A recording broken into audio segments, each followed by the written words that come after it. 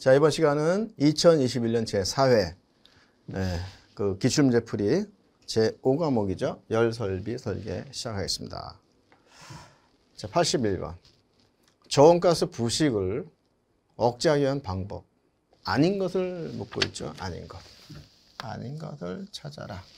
1번. 연료 중에 유황 성분을 제거를 해야 된다. 맞죠? 첨가제 사용합니다. 그리고 세 번째, 공기 예열기 전 열면 온도를 높입니다. 1, 2, 3 맞습니다. 자, 네 번째 보면 V. 배기가스 중에서 반화준 성분을 제거한다. 이것은 뭐죠? 네, 고온. 고온 네, 부식 방지법에 들어간다. 이런 얘기죠. 그래서 4번이 정답이다. 4번. 아닌 것은 4번이다. 이걸 찾으시면 되시겠습니다. 자, 82번 예, 보십니다. 자, 보일러에서 과열기 역할. 과열기는 뭐로 하는 거죠? 과열. 온도가 올라가죠. 두 번째. 포화 증기의 온도를 높입니다. 두 번째 것. 바로 찾으시면 되시겠고. 자, 83번 갑니다. 맞대기 용접은 용접 방법에 따라 가지고 그루브 홈을 판다 이거죠. 근데 판의 두께가 아, 50mm 이상이에요. 그러니까 판의 두께가 이 얘기는 뭐냐면은 두께가 두껍다는 얘기입니다. 예. 이랬을 때는 H형 H형 H형의 그룹의 형상이 적정한 것이 되겠습니다. 얘는 H형은요 19mm를 넘는다 이상이다 하면은 H형을 적용한다는 얘기죠. V형은 얼마냐면 6에서 16mm 두께가 그리고 R형도 6에서 16mm H형은 19mm 이상이다. 19mm 이상.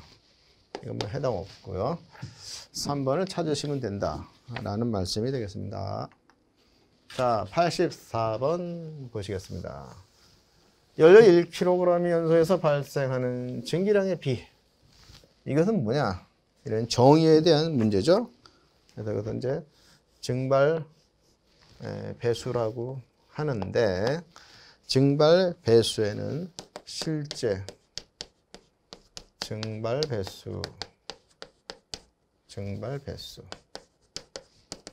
이런 개념이 있고요. 그 다음에 환산 환산 증발 배수라는 개념이 있죠.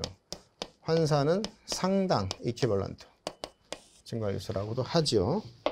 그래서 실제 증발 배수는요. 이것은 GA 이것을 실제 증발량을 GF 연료 소비량으로 나눈 것입니다. 그 다음에 환상 증발 배수 이것은 G 네, 환산 혹은 증 어, 상당 에, 그 증발량 이것을 GF 연료 소비량으로 나눈 것이다. 그래서 이 공식까지 같이 기억을 해 두시는 게 좋으시겠습니다. 자, 다음 85번 들어가죠. 노통 연관 보일러에 노통의 바깥면 하고요. 이것을 가장 가까운 연관이 있다. 그러면 그 사이에 예, 그 연관의 면 사이에는 틈새가 어, 얼마 이상 돼야 되느냐 이거예요.